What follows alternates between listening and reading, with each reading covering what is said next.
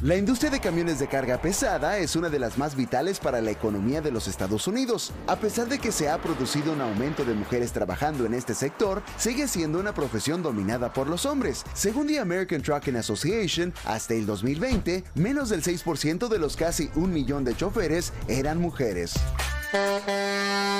Y en este selecto grupo de mujeres imparables se encuentra la mexicana María Adriana Anguiano Godínez. Soy troquera, este trabajo, trabajo para una compañía que estoy bendecida con esa compañía porque me dio la oportunidad sin tener experiencia. Es un trabajo de mucho cuidado. Manejo un tanque, pues la verdad yo de primero estaba aterrada, ¿eh?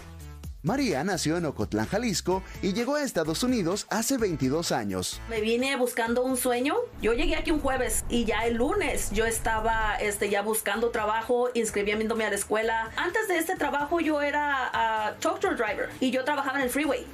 Esta madre de dos hijos a diario conduce por las calles y autopistas de Los Ángeles un camión cisterna cargado con magnesio con un peso de alrededor de 8 toneladas soy chopper de noche porque entro súper temprano, a veces que son las 2, 3 de la mañana y yo ya ando allá en el trabajo. Lo primero que tengo que hacer es chequear mi camión, que todo esté bien, que no tenga ningún leak de aire. Ningún cable suelto, que no tengamos para hacer cortocircuito o algo así.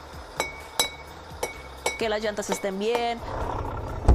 Yo llego y yo cargo otro troque que trabaja para la ciudad y esta, este troque va y lo descarga a las alcantarillas. Este producto hace que las alcantarillas se limpien y no huelan tanto y cuando llego pues tengo mi parte de mamá que llego a hacer de comer, limpiar, lo que sea.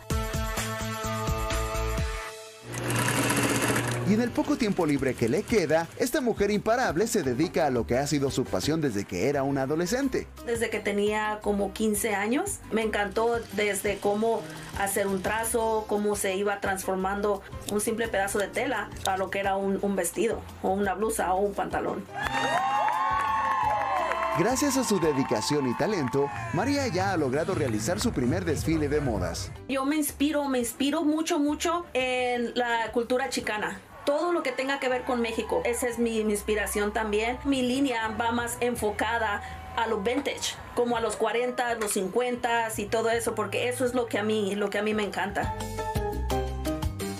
Y mientras hace realidad su sueño de convertirse en diseñadora de tiempo completo, María continúa cambiando el juego por las calles angelinas.